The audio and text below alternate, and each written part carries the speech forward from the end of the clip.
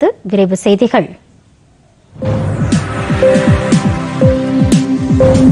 தமிழகத்தில் தனியார் மருத்துவமனைகளின் பங்களிப்புடன் பொதுமக்களுக்கு இலவசமாக பூஸ்டர் தடுப்பூசி போடுவதற்கு நடவடிக்கை எடுக்கப்படும் என மாநில மருத்துவம் மற்றும் மக்கள் நல்வாழ்வுத்துறை அமைச்சர் மா. சுப்பிரமணியன் தெரிவித்துள்ளார்.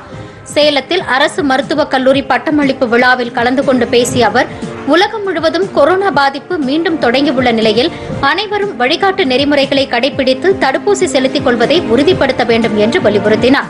மேலும் கொரோனா தொற்றால் பாதிக்கப்பட்டு வீடுகளில் தனிமைப்படுத்திக் கொண்டுள்ளவர்களுக்கு தேவையான மருந்து பொருட்கள் அரசு சார்பில் வழங்கப்பட்டு வருவதாக அவர் தெரிவித்தார். தேசிய மகளிர் ஆணையம் சார்பில் பெண் சட்டமன்ற உறுப்பினர்களுக்கான பயிற்சி பட்டறை இன்று தொடங்கியது. இமாச்சல பிரதேசத்தின் தரம்சாலாவில் நடைபெற்றுக் கொண்டிருக்கும் மூன்று நாள் பயிற்சி பட்டறையின் முதல் நாளான இன்று உத்தரப்பிரதேசம் இமாச்சல பிரதேசம் மற்றும் உத்தராகண்டை சேர்ந்த இருபத்தி ஒன்பது பெண் சட்டமன்ற உறுப்பினர்கள் கலந்து கொண்டு தலைமை பண்பு பெண்களுக்கு எதிரான குற்றங்களை தடுப்பது குறித்த பல்வேறு தலைப்புகளில் விவாதித்தனர். தமிழக அரசால் மாணவ மாணவிகளின் நலனுக்காக வழங்கப்படும் இலவச பொருட்களை விற்பனை செய்வது சட்டப்படி குற்றமாகும் என்று மாநில பள்ளிக் கல்வித்துறை அமைச்சர் அன்பில் மகேஷ் பொய்யாமொழி தெரிவித்துள்ளார்.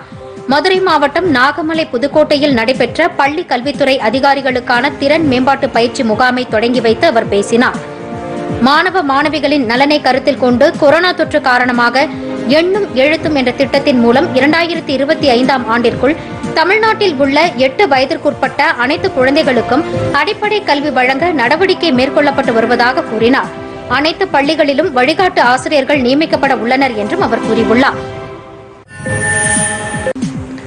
நாட்டில் பனிரண்டு மாநிலங்கள் மற்றும் யூனியன் பிரதேசங்களில் மொத்தம் 75 இடங்களில் சாலையோர உணவகம் மற்றும் தங்கும் விடுதிகளை அமைக்க மத்திய பாதுகாப்புத்துறை அமைச்சகம் அனுமதி அளித்துள்ளது.